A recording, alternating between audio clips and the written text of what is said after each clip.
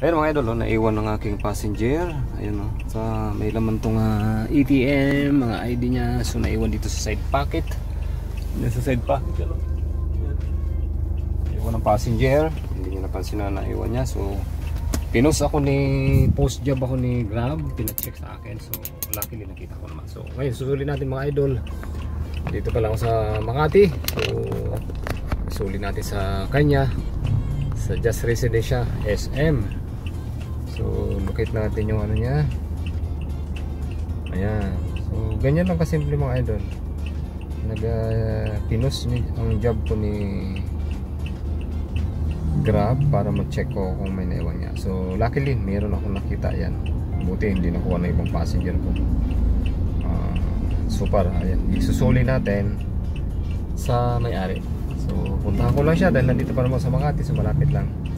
Uh, tingnan natin mga idol ha Samahan nyo. Isuli ito. Ang oras ngayon ay alas 6.49 ng uh, umaga. Nasa Just Residence lang siya. So, check natin. Tower D. Just, Just Residence Tower D.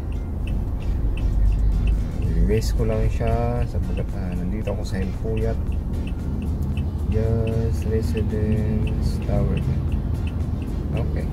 So 1.8 kilometers gaya ng dati, may naiwang item so isusuli natin dahil uh, sa kanila. tayo sa isang daan at siyang na Ay? Hilpuyat Avenue, East Makati. Uh, Makati daw, Makati. Pagkaraan ng 1.8 kilometro. Kumaliwa sa Nicanor Garcia. So, kaliwa tayo sa Nicanor. Ayan mga idol, magdamag na biyahe. Inabot ako ng umaga, alas alas 7 na actually. So, isuli natin yung uh, naiwan ng passenger May papalapit na riles ng May papalapit na riles ng tren. Oh, yung ETM plus yung ID niya sa ah, condo. Yan.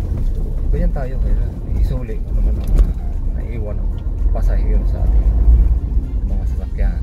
So, lagi kong pinapaalala yan sa kanila bago bumaba. Kaso, nagmadali yata si Sir.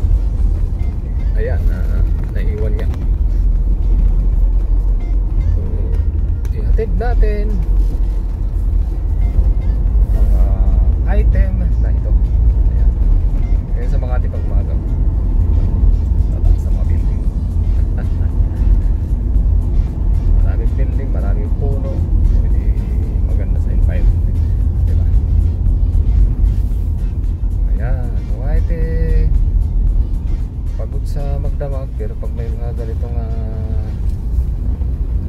pangyayari na naiiwan sa ating ah, sasakyan. Ay syempre mga masaya tayong may sauli ng ah, maayos sa may-ari. Sapagkat ah, mas ah, ayan eh kailangan ah, kailangan kailangan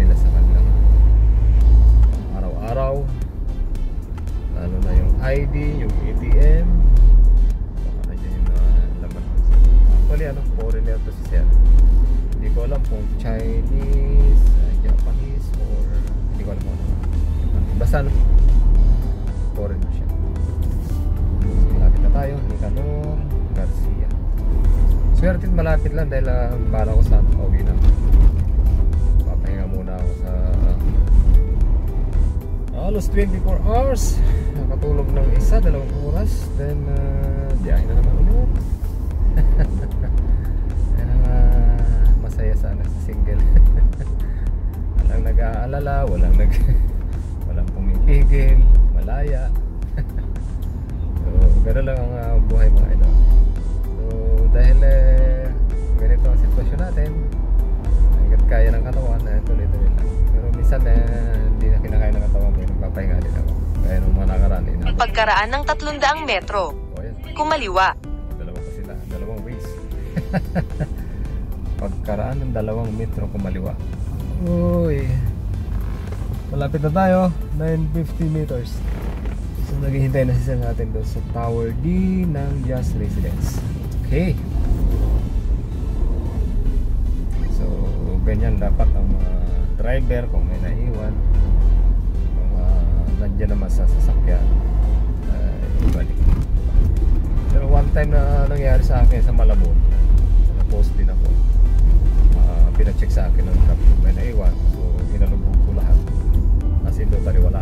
So, sinagot ko si grab na as in, wala yung item. Then, uh, okay naman sa kanila. Then, okay, grab. Ang mahalaga sa kanya, eh, nagsasabi ka ng totoo.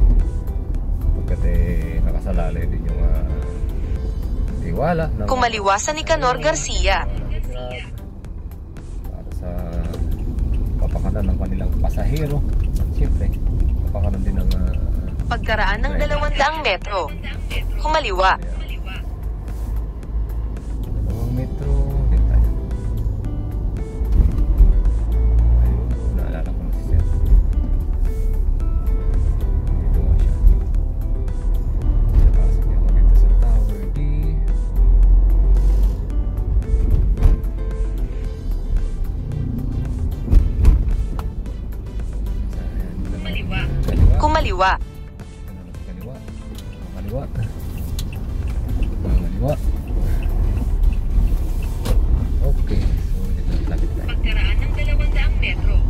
Pagkaraan ng 200 metro. Kumaliwa sa SM Jazz Parking. Si Sir.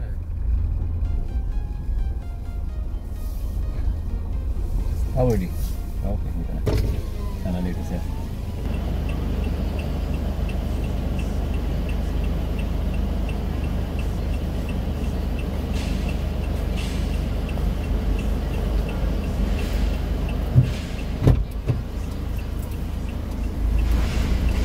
Ayun mga idol, so hindi makita ng ng guard sa file. Yung pangalan niya hindi matrace. so subukan ko maghintay ulit. Kung tatawag siya sa akin.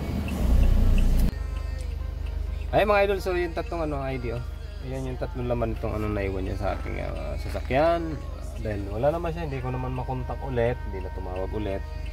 So anuhin ko na lang na iniwanan ko sa guard yung ah, mga ano na ito. Papalag na lang ako sa guard.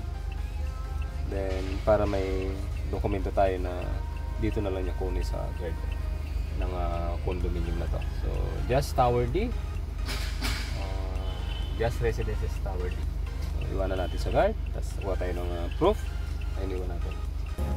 We've left at the uh, right right ano, door. The door. okay. There are three items inside, so you can check it. I'm trying to call you, but uh, it's a private number.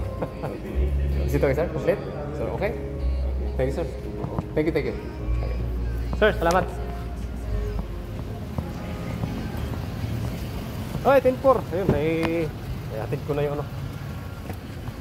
Uh, just say thank you and uh, all things are good. Yan lang, basta naisuli ko sa kanya. Akala nung mga guard na mag-aabot ng ano, ng reward. Hindi ka kailangan yun. Mahalaga na isuli. Ayun, so... Good news, naibalik ko na. Ah, balik bravo na tayo. Tatawa yung mga guard eh, nakangiti. Akala nila dudukot ang reward. May lang yun, hindi natin in-expect yun. okay. So, okay na yun, masaya na tayo para na.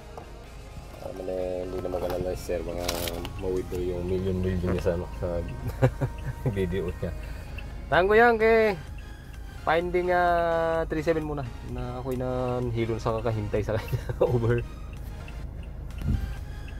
Ayan mga idol, naisuli ko na. Ayan.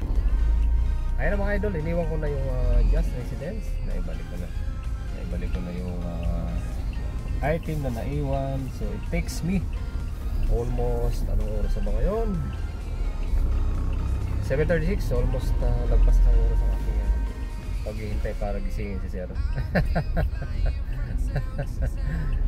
Natatawa yung mga guard, sabi ng guard.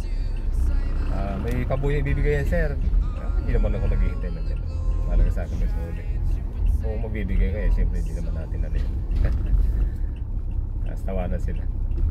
Ah, mahalaga na ibalik natin.